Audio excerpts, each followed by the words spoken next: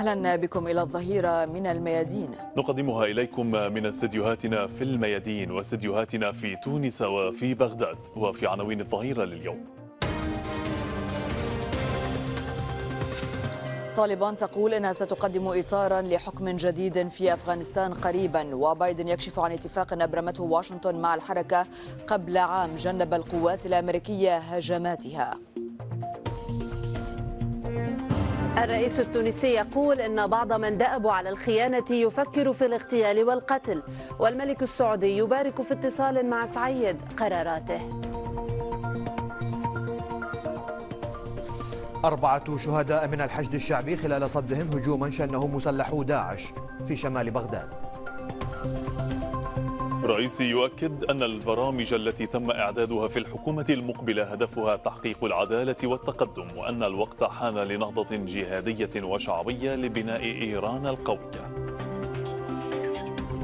الجيش السوري يستخدم تعزيزات عسكرية إلى محيط درع البلد بهدف إخراج المجموعات المسلحة بعد رفضها تسليم أسلحتها. بعد تعديل شمل أربع وزارات الحكومة الفنزويلية الجديدة تؤدي اليمين الدستورية في ضوء المحادثات مع المعارضة في المكسيك.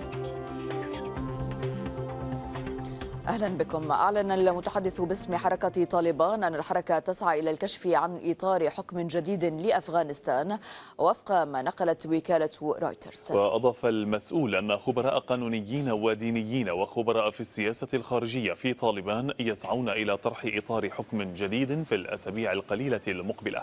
كما أشار إلى أن طالبان تتعهد الخضوع للمساءلة والتحقيق بتقارير وقوع عمليات انتقامية في أفغانستان.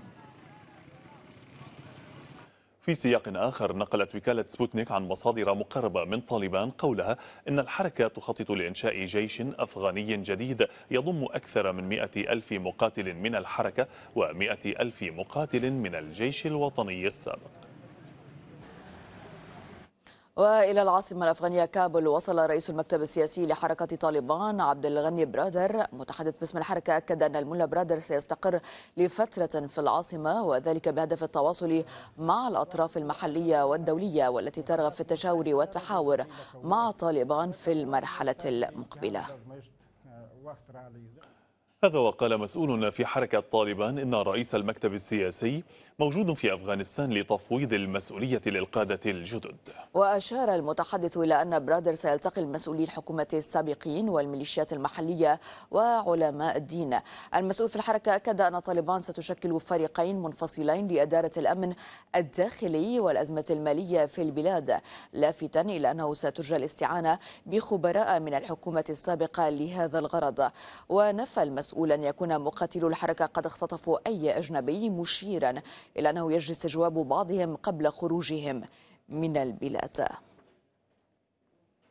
بالتوازي أعلنت حركة طالبان اليوم مبايعة حشمة غني شقيق الرئيس الأفغاني السابق للحركة. غني كان قد أكد سابقا أن الأمريكيين لم يخرجوا بشكل مفاجئ من أفغانستان بل كان هناك مخطط أمريكي منذ ولاية الرئيس السابق دونالد ترامب لافتا إلى أن الإدارة الأمريكية لم تعلن عنه نظرا لخطورته على أمن قواتها. الأمريكيون لم يخرجوا بشكل مفاجئ بل كان هناك مخطط أمريكي منذ أيام دونالد ترامب. لكن الإدارة الأمريكية لم تكن تريد أن تعلن عنه لخطورته على أمن القوات الأمريكية في أفغانستان. أنا أردد منذ عشرين عاما بأن الأمريكيين والناتو ودول الغرب تقدم للأفغان فوائد مالية تحت مسميات مختلفة لكن كل هذا في الحقيقة أساء إلى سمعة الأفغان وإلى المجتمع الأفغاني. طالبان لها استراتيجية أمن بشكل ممتاز لكن عليها الاجتهاد لمكافحة الفقر والجوع. بالطبع شقيقي سيعود. لا يمكن أن يعيش حياته الآن خارج البلاد ولا بد أن يرجع ليواجه حسابه أمام الشعب الأفغاني ويوضح موقفه من الاتهامات التي وجهت إليه. ومعنا من إسلام أباد مراسل الميادين بكر يونس بكر. أهلا بك. سنسأل عما تعلنه طالبان تباعا. قالت بأنها ستقدم اطارا لحكم جديد في أفغانستان. هل بدأت ملامح هذا الإطار تظهر أقله بالخطوط العريضة؟ المقصود بالإطار الجديد هو إقامة إمارة إسلامية دولة تح يعني تتحكم أو تحاكم نفسها وتحاكم شعبها إلى الحكم الإسلامي بإقامة الحدود الإسلامية، منع الربا، إقامة فرض الزكاة، لا يوجد هناك يعني منهج جديد أو منهج غير معروف أو يعني أو أو غامض ستقوم طالبان بوضعه وإنما هي ما تقصده طالبان هو أنها ستلغي الدستور وهذا هو المتوقع. وان تضع دستور جديد وهو دستور إسلامي تطبق فيه الشريعة الإسلامية بكافة يعني مكوناتها في الاقتصاد في السياسة في التعليم في كل الأمور التي يعني تنص عليها الشريعة الإسلامية. طيب سؤال آخر. الحركة أيضا تخطط لإنشاء جيش أفغاني جديد. أيضا هل هناك من المزيد من التفاصيل حول هذه النقطة؟ حركة طالبان في الحقيقة هي ليست بحاجة إلى جيش وليست بحاجة إلى وضع عناصر جدد في في الحركة كمقاتلين لأنهم طبعا هم مقاتلون لديهم الخبرة الواسعة ولديها ما يكفيها من عناصر ولكنها تريد أن تشمل من هم من الجيش الأفغاني ولديهم خبرة ولم يكونوا قد تلوثت أيديهم بمقاتلة حركة طالبان كما صرحت بعض المصادر وأيضا لا توجد لديهم أي انتماءات ضد حركة طالبان، تريد حركة طالبان أن تقوم بضم كل هذه العناصر من الجيش الأفغاني حتى تقوي عناصرها وحتى لا يكون هناك في المستقبل من هم ينقمون على حركة لا سيما من الجيش الأفغاني لأن طبعا عدد الجيش الأفغاني الذين اقيموا من الجيش الأفغاني عدد كبير جدا. سيكون هناك بطالة كبيرة جدا في صفوف هؤلاء الناس. لذا تريد حركة طالبان تشمل كل هؤلاء يعني خاصة من هم ليسوا متورطين في مشاكل مع حركة طالبان حتى تتمكن من أن تعطيهم وظائف وحتى تتمكن من أن تهدئ الأوضاع خاصة بينهم وبين المخالفين لها من أبناء الشعب الأفغاني. شكرا جزيلا لك بكر يونس مراسل الميادين كنت معنا من إسلام آباد شكرا لك. قال الرئيس الأمريكي جو بايدن إن طالبان لم تهاجم القوات الأمريكية في أفغانستان استنادا إلى اتفاق أبرمته واشنطن مع الحركة قبل عام. بايدن وفي مؤتمر صحفي أعلن أنه يستطيع ضمان النتيجة النهائية لعملية الإجلاء في كابول واصفا إياها بأنها واحدة من أصعب عمليات الإجلاء في التاريخ. حركة طالبان كانت موجودة في شمال أفغانستان وجنوبها منذ عهد الرئيس السابق ترامب والأمر العقلاني كان إعادة تموضع القوات الأمريكية للانسحاب. فيما عدم مهاجمة قواتنا في أفغانستان يعود للاتفاق الذي أبرمناه قبل عام. حان الوقت لننهي هذه الحرب التي كلفتنا أكثر من تريليون دولار والبعض يقول تريليونين. لم يكن في وسعنا مغادرة أفغانستان من دون حصول هذه الفوضى التي ترونها. فهي ستحصل في أي وقت ستغادر فيه قواتنا. سنحاول إنهاء عملياتنا في الموعد المحدد بنهاية الشهر الحالي ونعمل مع شركائنا وحلفائنا لتسريع ذلك. على خلفية ما يجري في أفغانستان قدمت النائبة الجمهورية في الكونغرس الأمريكي ماري جوري جرين ثلاثة مشاريع تدعو إلى عزل الرئيس الأمريكي جو بايدن. وفي تغريدة لها على تويتر قالت جرين إنها قدمت مشاريع لعزل بايدن نيابة عن الأمريكيين بسبب عدم تنفيذه لواجباته فيما يخص الوضع في أفغانستان. إضافة إلى أزمة الهجرة المستمرة على الحدود الأمريكية الجنوبية بما وصفته بمخالفة التوازن الدستوري نتيجة تجاهله لقواعد المحكمة العليا.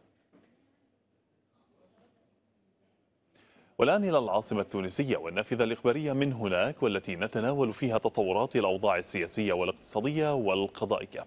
ومن العاصمة تونس تنضم إلينا الزميلة وفاء سرايا. مرحبا وفاء إليك. مرحبا محمد تحياتي لك وللزميلة رانا شكرا جزيلا لكما.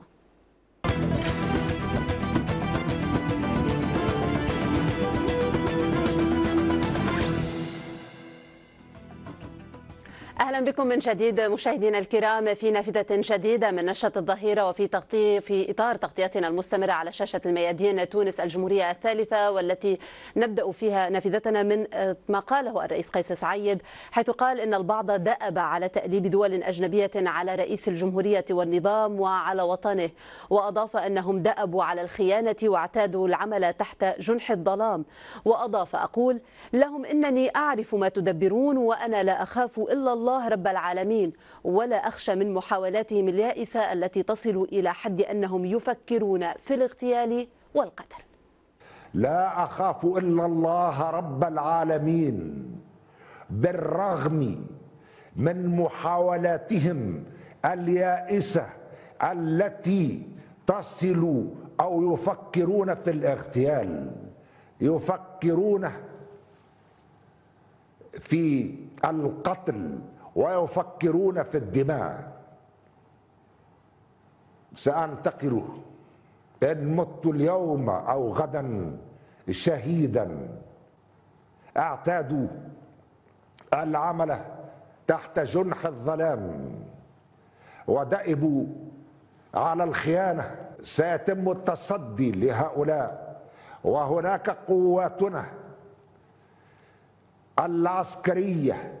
والأمنية ستتصدى لهم ولن تتركهم أبدا يصلون إلى ما رتبوا له الرئيس سعيد قال إنه يسعى للقضاء على الفقر والاستبداد معا وخلال توقيع اتفاقية توزيع مساعدات اجتماعية أضاف سعيد أنه لولا الاستبداد الذي عاشته بلاده ما زالت تعيشه تحت صور مختلفة لما آل الوضع. إلى ما آل إليه. لابد أن نواجه لا فقط الأوضاع الحالية من خلال صرف جملة من الإعانات للعائلات المعوزة ولكن لا بد أن نتصدى أيضا معا بنفس العزيمة وبنفس الإرادة للأسباب التي أدت إلى هذه النتائج وإلى هذه الأوضاع التي يعيشها جزء كبير من شعبنا. بارك الملك السعودي سلمان بن عبد العزيز الخطوات التي أقدم عليها الرئيس التونسي قيس سعيد وتلقى الرئيس سعيد اتصالا هاتفيا من الملك سلمان. جدد خلاله تأكيد دعم المملكة لتونس في المجالات كافة وحرصها على مواصلة الوقوف إلى جانب الشعب التونسي وتقديم دعم صحي إضافي. وذكر بيان للرئاسة التونسية أن المحادثة الهاتفية كانت فرصة للتشديد على توطيد علاقات التعاون بين تونس والسعودية. وعبر الرئيس التونسي عن شكره للملك السعودي على مبادرته بمواصلة دعم جهود تونس في مواجهة جائحة كورونا.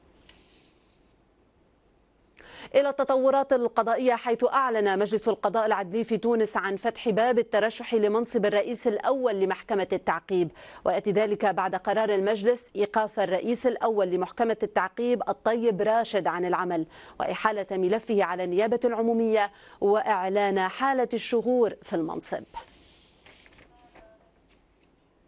والآن ينضم إلينا من العاصمة التونسية مراسل الميادين الزميل عماد شتارة مساء الخير عماد. نبدأ من المعطيات المهمة التي كشف عنها الرئيس قيس سعيد معطيات ومحاولات لاغتياله. وهنا نتحدث عن دلالات مهمة بأي إطار وبأي سياق يمكن تفسيرها ونجمل معها موقف صريح للمرة الأولى بدعم قرارات سعيد خارجيا وليس عن علاقات بين البلدين كما كنا نسمع باتصالات سابقة مع دول أخرى بل مباركة من قبل الملك سلمان لخطوات سعيد. نعم وفاء نحن نعيش في ظرف استثنائي وكل الصلاحيات حاليا بيد الرئيس قيس سعيد. وبالتالي أي خطر يتهدد سلامته يمكن أن يعرض وضع البلاد إلى حالة الفراغ. اليوم هناك تخوف على سلامة الرئيس وعلى ربما مخطط قد يستهدف الرئيس. هو لم يفصح إن كان ما أعلن عنه مبني عن معطيات وتحقيقات أم عن ربما معلومة استخباراتية تم إشعاره بها. أشار إلى أن القوات الأمنية والعسكرية ستتصدى لهذا المخطط. وهذا كلام يوحي بأن هذا الخطاب له ما بعده. الجميع يقرأ بأن ربما الساعات القادمة أو الأيام القادمة قد تشهد اغتيالات. تطال بعض الأطراف التي ربما قد تكون ضالعة في في هذا المخطط أو هذا التوجه لاستهداف رئيس السلطة القائد الأعلى للقوات المسلحة في البلاد. حديثه عن أنه قال بأنه يعلم بماذا يفكرون يؤكد بأن المعلومة معلومة استخباراتية وأنها الأمر يستدعي ربما تعزيز الحماية بالنسبة للرئيس تعزيز الإجراءات الأمنية حتى يقع إحباط أي نية أو مخطط لاستهدافه وتجنيب البلاد ربما الدخول في حالة الفراغ خلال الفترة القادمة نظرا لأن الدستور هو الذي يخول للرئيس في حالة العمل بالتدابير الاستثنائية قيادة البلاد في هذه المرحلة وبالتالي لابد من توفير الحماية للقائد الأعلى الذي بيده السلطات وهو اليوم يراهن على الدخول بالبلاد في مرحلة جديدة لإنقاذ الدولة. إذا ما تجاوزنا هذا المعطى الأمني والخطير الذي يتعلق بسلامة الرئيس رسائله التي أطلقها بالأمس حينما أجرى زيارة فجئية إلى أحد المحتكرين في مواد البناء كانت هامة جدا بأن السلطة ستقاوم خلال خلال الفترة القادمة المحتكرين وستضرب بيد أو بقبضة من حديد كل من يحاول أن يصعب العيش على التونسيين. أشار إلى احتكار مواد البناء والمواد الغذائية والمواد المدرسية والبلاد مقبلة على عودة مدرسية. هناك وعي بوجود عمليات مضاربة وتضخيم في الأسعار أو ترفيع في الأسعار تسعى السلطة إلى مجابهتها. بإصرار وبإرادة سياسية. المعطى الأخير ربما الذي نختم به هذه المداخلة يتعلق بالمسار القضائي لطالما كرر الرئيس في أكثر من مناسبة على أن القضاء يجب أن ينحاز. نعم. نعم. أشار في أكثر من مناسبة إلى أن القضاء يجب أن ينحاز إلى الوطن وأن يتحلى ربما بالوطنية وبالجدية في محاربة الفساد. بالأمس اتخذه المجلس الأعلى للقضاء العدلي قرار ثوري قرار يقضي بإيقاف القاضي الرئيس الأول لمحكمة التعقيب عن العمل وإحالة ملفه على النيابة العمومية نظرا لشبهات الفساد التي تحوم حوله وحول الثروة التي كونها. قرار يعتبر ثوري على أن القضاء مصر مثل ما يصر رئيس الدولة على محاربة الفساد وعلى إحالة ربما الضالعين فيه أمام أنظار القضايا لينالوا جزاءهم وفق ما يقضيه القانون. نعم. الكل يترقب هذه التطورات خصوصا في المشهدين السياسي والقضائي ولا سيما نحن نبتعد فقط أربعة أيام عن 25 آب الحالي أو الجاري. إذا شهر على الإجراءات الاستثنائية التي اتخذها الرئيس قيس سعيد وأيضا بانتظار ولادة حكومة جديدة التي قال بأنها بالأيام القليلة أو القريبة المقبلة سوف يعلن عنها الرئيس سعيد. شكرا جزيلا لك على دمج كل هذه المعطيات واختصارها الزميل عماد اشتارة كنت معنا من تونس. في مقابلة مع الميادين أكد الكاتب والإعلامي خالد كرونا أن على اليساريين المؤمنين بالمستقبل تأييد الخطوات الإصلاحية للرئيس قيس سعيد. كرونا قال أن أحد في تونس من الأحزاب الموجودة يملك مشروعا متكاملا. أظن أن اليساريين المؤمنين بالمستقبل سيسعدهم أن يروا الرئيس سعيد يتجه في خطوات تتناسب مع وتتناغم مع ما يطلبه الشعب. كلما تقدم خطوة فيما يطلبه الشعب بطبيعة الحال من المنطقي أن نؤيد ذلك. كلما تأخرنا عن تلبية مطالب الشعب كلما طرحت طرحت القضية وكلما طرح الخلاف يعني باختصار شديد أنا لا أظن وهذا ليس هذا من الوهم أن تدابير استثنائية يقدم عليها رئيس الجمهورية ستكون فرصة لإقامة إصلاحات حقيقية وعميقة.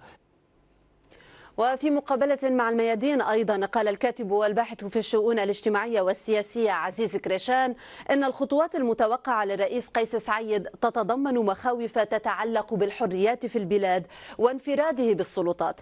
كريشان لفت إلى أن الإصلاحات الاقتصادية والاجتماعية لا يملك الرئيس سعيد وفريقه القدرة على تحقيقها. ثم احتمال كبير كونه يغلق المجلس الحالي. يحل مجلس النواب آه وممكن زاد يعني يعلق آه الدستور نتاع 2014 آه استفتاء آه انتخابات نيابية يعني مبكرة. قانون انتخابي جديد صح. قانون للأحزاب جديد آه مشروع دستور جديد آه، يقدموا الاستفتاء إلى آخره انتخابات مبكرة. هذا الكل هذا الكل هون فما تخوف الحريات والاستبداد إلى آخره. وتعرف أنت وقت اللي إنسان يولي عنده كل السلطات وإلى هنا نصل إلى ختام نافذتنا في الظهيرة. لقاؤنا يتجدد بكم في نشرة الخامسة بتوقيت القدس الشريف والثالثه بتوقيت تونس. ونفتح الآن نافذة جديدة من تغطيتنا المستمرة كذلك للانتخابات البرلمانية في تشرين الأول أكتوبر المقبل من بغداد مع الزميل محمد زيني. مساء الخير محمد يعطيكم العافية والهواء لك. مساء النور وفاء. شكرا جزيلا لك.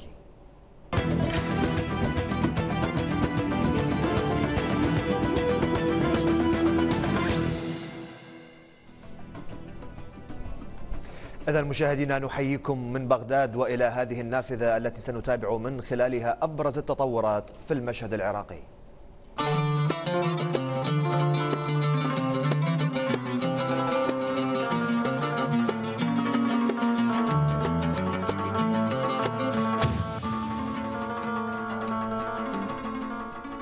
نبدأ من التطورات الأمنية حيث نعت قيادة العمليات المشتركة أربعة مقاتلين من الحشد الشعبي بعد استشهادهم في قضاء الطارمية شمال بغداد.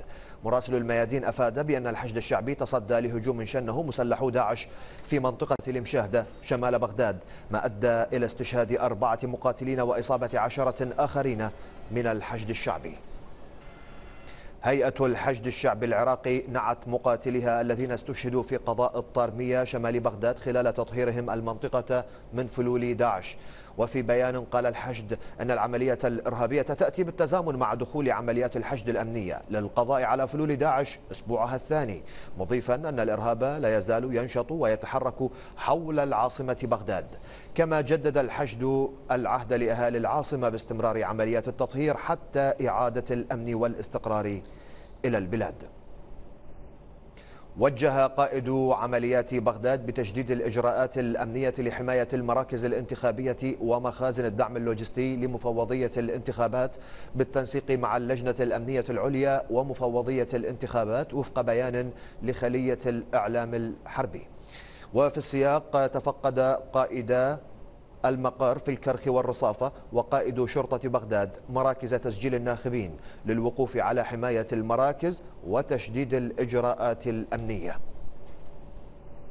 معنا مباشرة مراسل الميادين في بغداد الزميل محمد الفهد. محمد مرحبا بك. ضعنا بصورة آخر وأبرز التطورات الأمنية في الطارمية إلى الشمال من بغداد.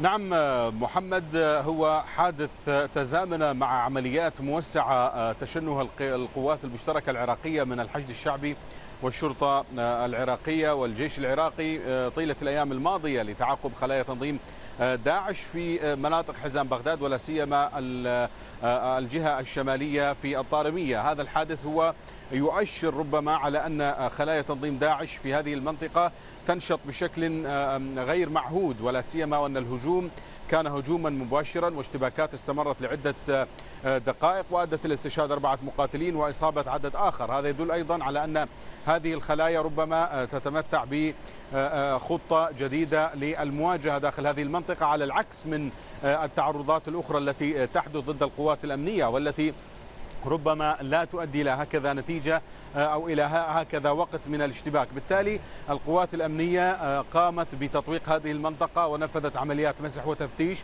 واستخدمت تعزيزات عسكرية. ربما تنطلق عملية لتعقب هذه الخلايا. كذلك أشارت القيادات الميدانية إلى خطورة هذا الملف ولا سيما في هذا التوقيت واستنادا لما قامت به هذه الخلايا في هذه المنطقة. وعورة المنطقة وكثرة بساتينها ربما جعل خلايا التنظيم تأخذ منها نقطة انطلاق سواء لزعزعة أمن العاصمة العراقية بغداد أو استهداف المدنيين والقوات الأمنية. كذلك ربما أن هذه العناصر قد تشكل تهديدا على أهل المنطقة أيضا وليس على القوات الأمنية لاعتبار أن هذه العناصر في السابق أيضا استهدفت من الحشد العشائري وكذلك من الصحوة التابعين لهذه المنطقة. هنالك مطالبات من قبل رئاسة الجمهورية العراقية من قبل بعض الأطراف السياسيين القيادات الميدانية نعم. إلى ضرورة تفعيل الجهد الاستخباري وشن عمليات موسعة محمد هنا نسأل عن كتاب انتشر على مواقع التواصل الاجتماعي العراقية مضمون هذا الكتاب من قيادة عمليات بغداد هو سحب جميع القوات العسكرية من الطارمية ما حقيقة هذا الكتاب وكيف تبدو الأوضاع الآن هناك؟ يعني حتى هذه اللحظة محمد آه هذا آه هذا الكتاب أو المسودة آه هي منحصرة بمواقع التواصل الاجتماعي التي روجت إليها في توقيت معين. ثم بعد ذلك عادت نفس هذه المواقع و المجموعات لتروج إلى أن هذا الكتاب غير صحيح وأن لا نداء من الحكومة لسحب هذه القطاعات العسكرية حتى هذه اللحظة. بالتالي محمد هي حتى هذه الحوادث تتزامن معها حملات إعلامية سياسية ربما لأهداف معروفة قد تتعلق ب الحظوظ السياسية التقرب أكثر من الجمهور من جمهور هذه هذه الأطراف. وبالتالي بدأ كل طرف يتناول ما حدث في الطارمية من زاويته بعيدا عن ربما الخطط العسكرية والأمنية وحتى التعاون المجتمعي مع القوات الأمنية طيب. لإنهاء هذا التهديد محمد نسأل أيضا في جانب الانتخابات كانت هناك اليوم جولة تفقدية لقيادات في عمليات بغداد بجانبي العاصمة الكرخ والرصافة هل هذا يعني أن الخطة الأمنية الخاصة بالانتخابات قد انطلقت وماذا سيترتب على هذه الجولة التفقدية من إجراءات في وسط العاصمة؟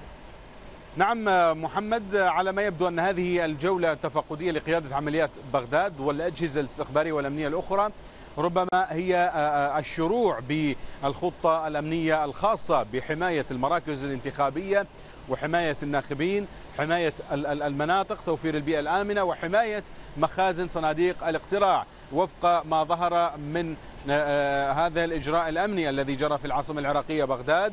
القيادات الميدانية تتحدث أن الخطة المستقبلية سيتم الشروع بها مسبقا من أجل تأمين المناطق التي تحوي على المراكز الانتخابية حماية المدنيين منع خروقات أمنية وبالتالي هذه التحركات هي ضمن الخطة الموضوعة لحماية الانتخابات وإنجاحها لاعتبار أن أهم ركن في هذه التجربة هي توفير البيئة الأمنية المناسبة.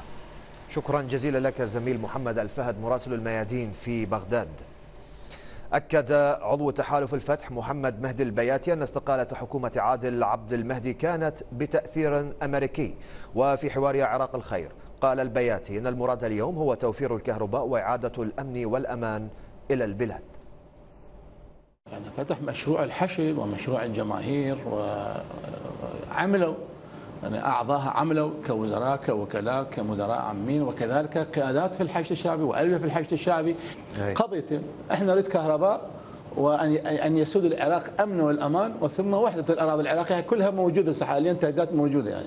الكتلة اللي صوتت على عادل عبد المهدي هي كانت الأكثرية يعني. أنا أعتقد موضوع سيد عادل كان تأثير خارجي وليس داخلي. خارجي؟ نعم تأثير داخلي. يعني اولا التأثير الخارجي أمريكا عضو حزب تقدم في البرلمان العراقي محمود نوري أبو الطيب قال أن القيادة الحكيمة والأيدي الأمينة استطاعت بناء محافظة الأنبار. وفي حوار يا عراق الخير أكد الطيب أن حزب تقدم يحتضن شخصيات تركت بصمتها في الشارع السني.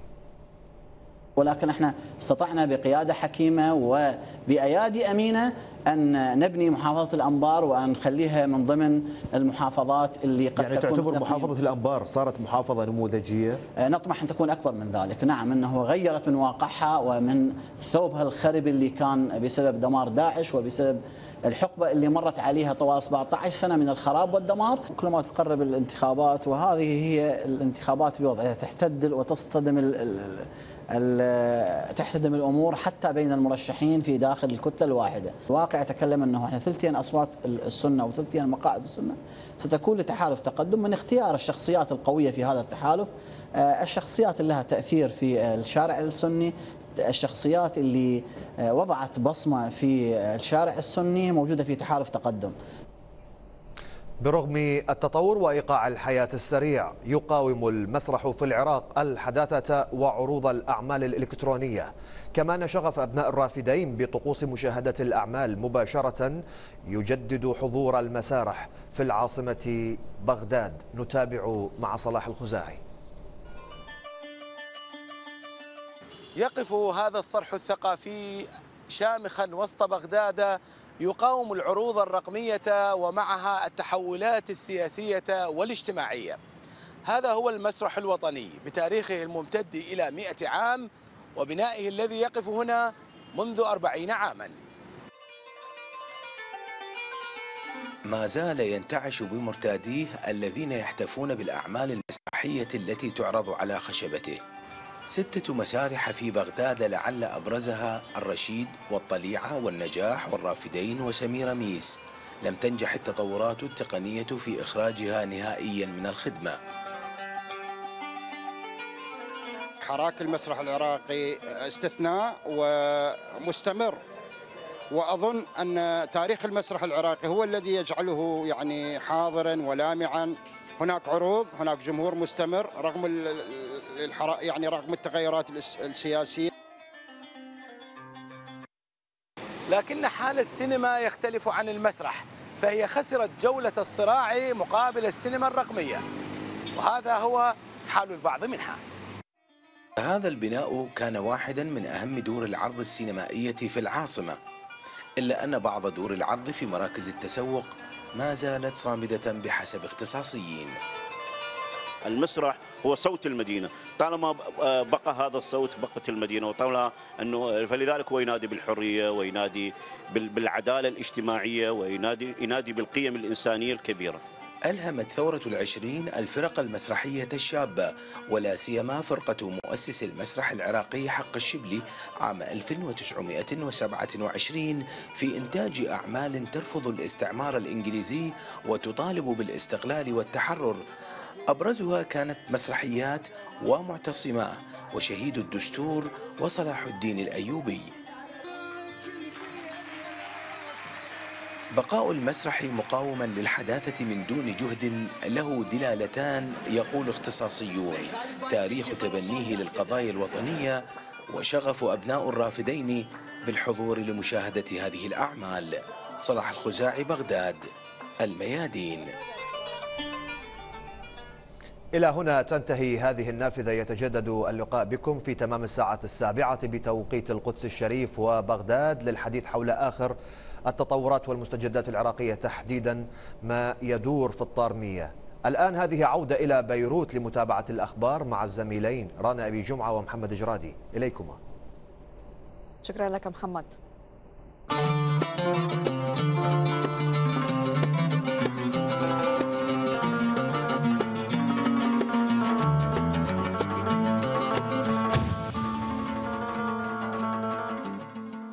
أكد الرئيس الإيراني إبراهيم رئيسي أن برامج الحكومة الجديدة ستضمن تحقيق العدالة الاجتماعية لكل شرائح المجتمع. وفي جلسة منح الثقة للحكومة الثالثة عشرة في مجلس الشورى شدد على أن المعايير التي اتبعت في اختيار الوزراء هي التخصص والخبرة. سند مردمی به عنوان چارچوب. برنامج الحكومة الشعبية هو الإطار الحاكم على برامج جميع الوزراء وهذا البرنامج مبني على خمس ركائز. هي بيان الخطوة الثانية للثورة الإسلامية والنمو الثقافي والاقتصاد المقاوم وتوفير وتحسين معيشة الشعب وتطوير العلاقات الدولية. كل برامج الحكومة تضمن تحقيق العدالة في البلاد والتطور. هدفنا تحقيق العدالة في جميع المجالات ولجميع الشرائح الاجتماعية. المرأة والرجل والطفل والشباب وأهل القرى والمدن. المعايير التي اتبعت في اختيار الوزراء هي التخصص والخبرة والمعرفة والانتماء إلى جيل الشباب والتعهد بالالتزام بالعمل والروح الثورية ومكافحة الفساد والشعبية. الحكومة سعت جاهدة للمزج بين الشباب والخبرة ووضعت خططا سريعة وفورية وأخرى بعيدة المدى لحل الأزمات الحالية بالاعتماد على نخب البلاد وإمكاناتها. استقبل قائد القوة البحرية للجيش الإيراني الأدميرال شهرام إيراني نظيره الباكستاني محمد أمجد خان نيازي ضمن زيارة رسمية تلبية لدعوة الطرف الإيراني. وخلال اللقاء محمد تناول الطرفان سبل تعزيز العلاقات العسكرية بين البلدين وخصوصا البحرية منها إضافة إلى الاستفادة من الخبرات العسكرية في تنفيذ المهمات والحفاظ على المصالح الوطنية بين الطرفين. ومن المقرر أن تتضمن جولة نيازي غدا الأحد زيارة الأسطول الإيراني في شمال البلاد. استخدم الجيش السوري تعزيزات عسكرية إلى محيط درع البلد بهدف إخراج المجموعات المسلحة من المنطقة بعد رفضها تسليم أسلحتها. وكالة سانا السورية نقلت عن مصادر ميدانية في درعا أن المجموعات المسلحة المنتشرة تستغل جهود التسوية للأعداد لشن هجمات على المدنيين ونقاط الجيش السوري. ورأت المصادر أن ما وصفته بتعنت المجموعات المسلحة يرتبط بالتصريحات الصادرة عن بعض الدول الغربية والاعتداءات الإسرائيلية على سوريا. معنا من العاصمة السورية مديرة مكتب الميادين في دمشق ديما نصيف. مرحبا بك. ديما ما هي الأسباب التي دفعت الجيش السوري إلى تعزيز قواته أمام درع البلد؟ يعني بداية المهلة المعطاة للمجموعات المسلحة التي تتواجد في هذا الحي وهو في جنوب مدينة درعا هي حتى نهاية هذا الشهر يعني بعد أقل من عشرة أيام تقريبا. وبالتالي والتفاوض يراوح مكانه محمد. يعني ليس هناك من أي مؤشرات على تقدم المفاوضات المستمرة منذ تقريبا شهرين بين الجانب الروسي وما يسمى باللجنة المركزية وهي مجموعة من قيادات للمجموعات المسلحة أو ما يقال عنهم بوجهاء هذا الحي للتفاوض مع الجانب الروسي حول كيفية انسحاب هذه المجموعات أو على الأقل من يريد أن ينسحب من هذه المجموعات من الحي ليتمكن الجيش من الدخول ونشر نقاطه داخل هذا الحي. وبالتالي التعزيزات العسكرية اليوم هي تأتي في سياق الضغط على هذه المجموعات لأنه البديل عن هذا التفاوض الذي ينتهي نهاية هذا الشهر. هو أن يكون هناك حسم عسكري بانتظار هذا الحي بحسب ما أعلمنا من المصادر العسكرية ناهيك عن أنه أيضا من حين إلى آخر وآخرها يوم أمس هناك خروقات من المجموعات المسلحة أدت إلى يعني إصابات في صفوف عناصر الجيش السوري ما استدعى نقل هؤلاء المصابين إلى المشافي وتجمع لسيارات الإسعاف. وبالتالي التفاوض يراوح مكانه. المجموعات المسلحة مستمرة في الخرق. ربما الجيش السوري استخدم تعزيزات يعني أكثر فأكثر للضغط على هذه العملية التفاوضية وأيضا للتأكيد لهذه المجموعات بأن الحسم العسكري لا يزال موجود في طيات قرار القيادة. وأيضا ربما للرد على أماكن الخروقات التي تأتي على نقاط الجيش التي تطوق الحي بأكمله منذ يعني شهرين تقريبا. طب ديما بس سؤال لو سمحتي باختصار لضيق الوقت من مع من تنسق في قرارات هذه المجموعات وممن من يدعمها في تسليحها. يعني هذه المجموعات اولا احتفظت بسلاحها منذ معارك التحرير التي كانت في العام 2018 محمد. وبالتالي لم تسلم سلاحها المتوسط والخفيف ولا تزال طبعا يعني تأتيها التعزيزات بهذا السلاح مع الريف الغربي لمحافظة درعا وهو ريف متصل بحي درعا. يعني حي درعا البلد هو حي في جنوب مدينة درعا وهو يعني على أسوار المدينة. وبالتالي الأرياف القريبة هي مناطق يعني امداد بالنسبة له. من هي الأطراف التي تتدخل؟ هي نفس الأطراف التي تتدخل بهذه المعركة منذ بداية سيطرة المجموعات المسلحة على الجنوب السوري وبالتالي هناك عوامل كثيرة تستدعي أن تتمسك هذه الأطراف ب عفوا هذه المجموعات المسلحة بقرارها بأنها لن تسلم ولن تجعل الجيش السوري يدخل إلى هذا الحي لاعتبارات إقليمية عند أطراف كثيرة أهمها أو على رأسها إسرائيل إن صح التعبير يعني إن صح التعبير بأنه هي على رأس هذه هذه الأطراف الممانعة. وأيضا هناك أطراف خليجية أو عربية لا تريد لهذا الحي أو لا تريد سيطرة كاملة للجيش السوري على هذه المنطقة خاصة مع بداية الحديث عن إمكانيات إذا ما صدقت الأحاديث التي كانت تتحدث بأنه سيتم استجرار الغاز من خط الغاز العربي عبر سوريا إلى لبنان. هذه المنطقة إن لم تستكمل السيطرة وإن لم تؤمن بشكل كامل كامل لا يمكن لا يمكن حتى لهذا المشروع أن يكتمل أو أن يستقر أو أن يرى النور مجددا لأن هناك أجزاء كبيرة من هذا من هذه التمديدات مخربة ولا بد لدخول أعمال الصيانة والتأهيل مجددا أن تستقر أوضاع هذه المنطقة وهو لا يصب في مصلحة الكثير من الأطراف التي لا تريد التهدئة لهذه المنطقة. ديما نصيف مديرة مكتب الميادين في دمشق شكرا لك. يستمر التوتر والتصعيد بين قوات سوريا الديمقراطية من جهة والجيش التركي والمسلحين الموالين له من جهة أخرى شمال سوريا. هذا واندلعت اشتباكات على امتداد الشريط الحدودي من ريفي منبج والباب بريف حلب الشمالي الشرقي وصولا إلى بلدتي تل تمر وأبو رأسين في ريف الحسكة الشمالي الغربي. وشهدت بلدة أبو رأسين وتل تمر ومدينة منبج قصفا عنيفا من الجيش التركي والفصائل المسلحة التابعة له. ما أدى إلى وفاة امرأة وطفلة وإصابة 16 آخرين. نهضت مشاريع تربية الأبقار والأغنام في غوطة دمشق بعدما تعرضت للتدمير خلال سنوات الحرب. جهد يحسن من أوضاع الأسواق في العاصمة ولا سيما في ظل الضائقة المعيشية التي يعاني منها السوريون. تقرير محمد الخضر.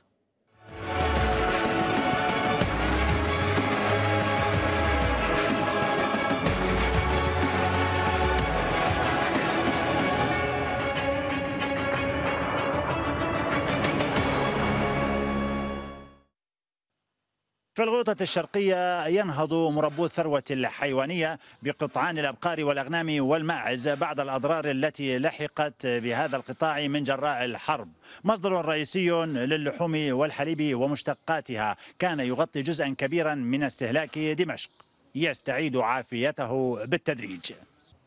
رمم مالكو هذه المزرعة في قرية يوتايا قطيع الأبقار الذي كانوا يمتلكونه قبل الحرب.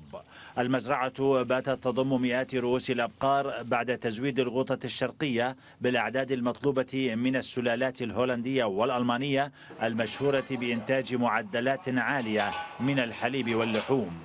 إنتاج يسوق إلى دمشق في محاولة لتعزيز الأمن الغذائي. باثناء الحرب كثير كثير موضوع المواشي قل. فرجع هلا الانتعاش من جديد بعد التحرر صار عاد التكاثر وبلشنا ننتج إن شاء الله محليا يعني. فبتروح الشركات عبارة عن شركات بتصنع الأجبان والألبان عرفت شلون؟ فاجمالا الغوطة هي مصدر يعني الأساسي للمدينة. يكافح مربو الماشية في الغوطة من أجل الاستمرار ضمن ظروف عمل قاسية. ارتفاع حاد في أسعار الأعلاف ونقص في الوقود والكهرباء. يواجههما المربون هنا عبر زراعات توفر الغذاء للمواشي وبالاعتماد على الطاقة الشمسية. تمينا مستمرين لحد هي الساعة بسبة الحرب. ردينا رجعنا ومشينا وأمورنا كتير جيدة جدا. بس يا أخي بسبة العلف غالي شوي علينا. ويعني ها صارت خسارة. عنا خسارة يوميا بشكل كبير كتير. ومع هيك بدنا نتم مستمرين. غير بعيد عن هذه المزارع تتعزز محاولات إنتاج الأسماك للنهوض بتجارب مشجعة كانت قد ازدهرت قبل الحرب. إنتاج يجري توريده إلى أسواق العاصمة.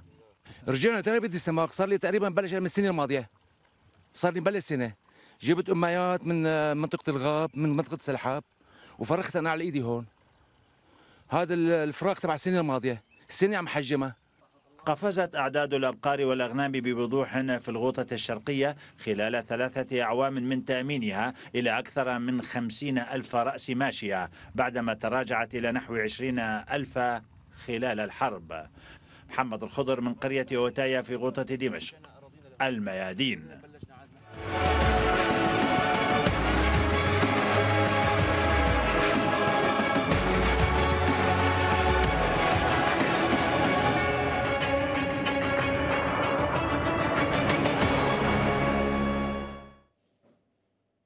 أكدت مفوضية الشهداء والأسرى في الهيئة القيادية العليا لحركة فتح أن أوضاع الأسرى القدامى في سجون الاحتلال الإسرائيلي في حالة سيئة. مفوضية الشهداء والأسرى أضافت في بيان لها أن عددا من الأسرى القدامى وذوي المحكوميات العالية يستعدون لإضراب مفتوح عن الطعام تنديدا بالاعتقال وجريمة المؤبد المفتوح.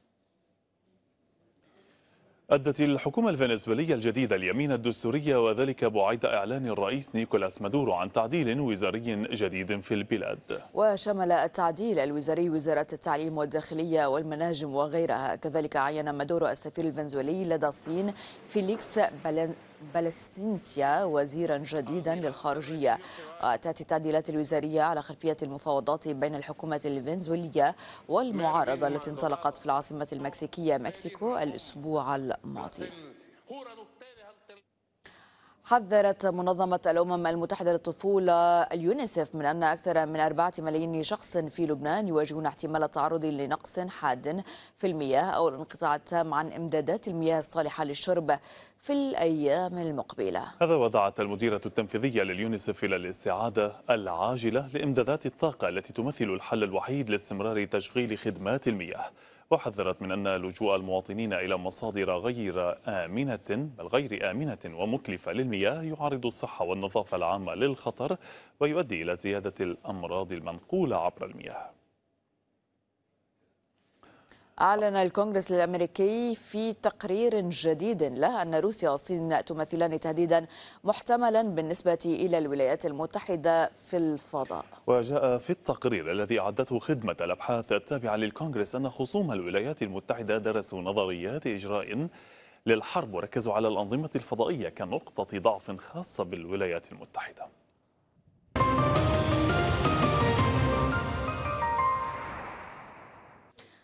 حتى في ظل قلة الإمكانيات تمكنت المهندسة نادية الخطيب من مدينة غزة من ابتكار نظارات ذكية لذوي الاحتياجات السمعية.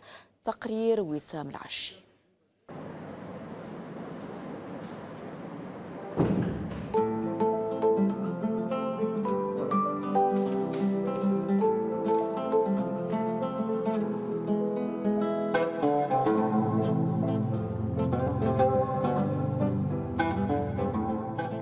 المهندسة نادية زهير الخطيب خريجة من كلية تكنولوجيا المعلومات من الجامعة الإسلامية. مشروع نظارات أذن السلام هو عبارة عن نظارات ذكية موجهة للأشخاص من ذوي الإعاقة السمعية بحيث تحل تحدي كبير هم بيعانوا منه وبتساعدهم على التواصل الاجتماعي وفهم العالم من حولهم.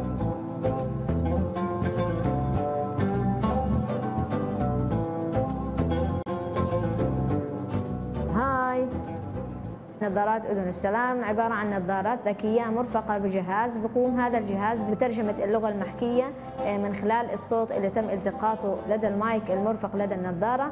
ومن ثم بعد ذلك بتقوم بترجمته إلى لغة مكتوبة تعرض على شاشات أذن السلام.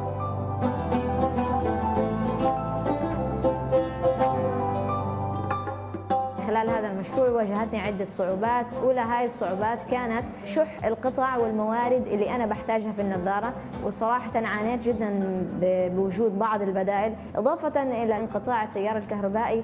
وهذا الإشي اللي بيعيقني خلال المشروع وتحديدا الجهاز اللي بشتغل عليه إذا تم انقطاع التيار الكهربائي بشكل مفاجئ عليه ممكن يؤدي إلى تلفه أو خسارة المشروع.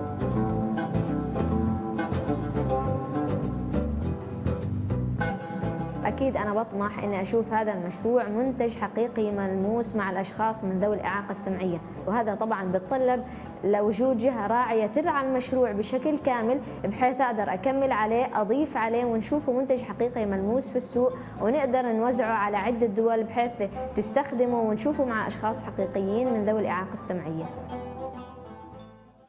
برغم الحصار الأمريكي نجحت إيران في دخول نادي الدول المصنعة للقاحات المضادة لكورونا فأنتجت لقاح كوفيران بركات المحلي الصنع. في هذا التقرير الا الله تخطى عمر كورونا في إيران عاما ونصف العام ورغم ذلك لا تزال البلاد تعاني من موجة خامسة هي الاقسى يقودها هذه المرة فيروس كورونا المتحور ديلتا منذ البداية أدركت إيران أن اللقاح هو طوق النجاة الوحيد للخروج من هذه الأزمة الصحية العالمية. فأوعزت السلطات أواخر الخريف الماضي لمؤسسة تنفيذ أمر الإمام ببدء الدراسات والتجارب لإنتاج لقاح محلي الصنع لسنا قلقين على أنفسنا بل إننا مهتمون فقط بتقدم المشروع لإنتاج اللقاح من ناحية السرعة والكمية لكي يتلقى جميع سكان إيران هذا اللقاح. نعمل في قسم زراعة الفيروس وهو أخطر الأقسام في معمل إنتاج اللقاح. لابد من أخذ الحيطة والحذر وارتداء الألبسة الواقية لمدة لا تقل عن 13 ساعة. بعد عدة أشهر أبصر اللقاح الإيراني النور وأعلن نجاح التجارب السريرية. تلقى المرشد الإيراني اللقاح مؤكدا أن لدى البلاد إمكانات وكوادر كفؤة. لا مشكلة في استخدام اللقاحات الأجنبية إلى جانب اللقاحات الإيرانية إذا ما اقتضت الحاجة ولكن يجب الاعتزاز باللقاح الإيراني وتثمين جهود جميع العلماء الشبان المثابرين الذين عكفوا على إنتاج هذا اللقاح وكل المراكز الأخرى التي تعمل على إنتاج لقاحات مضادة في البلاد. رغم الحصار والعقوبات الأمريكية وقلة الإمكانات نجحت إيران في اللحاق بركب الدول الست المنتجة للقاح كورونا. تؤكد الدراسات الطبية فعالية اللقاح الإيراني بنسبة تصل إلى 85% ضد فيروس كورونا والمتحور دلتا. من المقرر أن يتم افتتاح خطين آخرين لإنتاج لقاح بركات بهدف رفع الإنتاج إلى نحو 50 مليون جرعة. تغطي الحاجات المحلية للبلاد وتمكن إيران من تأمين اللقاح لدول الراغبة باستيراده. ملك عابد طهران الميادين. الظهيرة انتهت. هذا تذكير بالعناوين. طالبان تقول أنها ستقدم إطارا لحكم جديد في أفغانستان قريبا وبايدن يكشف عن اتفاق ابرمته واشنطن مع الحركة قبل عام. جنب القوات الأمريكية هجماتها. الرئيس التونسي يقول إن بعض من دأبوا على الخيانة يفكر في الاغتيال والقتل والملك السعودي يبارك في اتصال مع سعيد قراراته. أربعة شهداء من الحشد الشعبي خلال صدهم هجوما شنه مسلحو داعش في شمال بغداد. رئيس يؤكد أن البرامج التي تم إعدادها في الحكومة المقبلة هدفها تحقيق العدالة والتقدم وأن الوقت حان لنهضة جهادية وشعبية لبناء إيران القوية. الجيش السوري يستخدم تعزيزات عسكرية إلى محيط درع البلد بهدف إخراج المجموعات المسلحة بعد رفضها تسليم أسلحتها. بعد تعديل شمل أربع وزارات الحكومة الفنزويلية الجديدة تؤدي اليمين الدستورية في ضوء المحادثات مع المعارضة في المكسيك. المزيد من الأخبار والتقارير. تفضلوا بزيارة صفحات الميادين على الإنترنت الميادين دوت نت باللغات العربية والإنجليزية والإسبانية. إلى اللقاء. إلى اللقاء.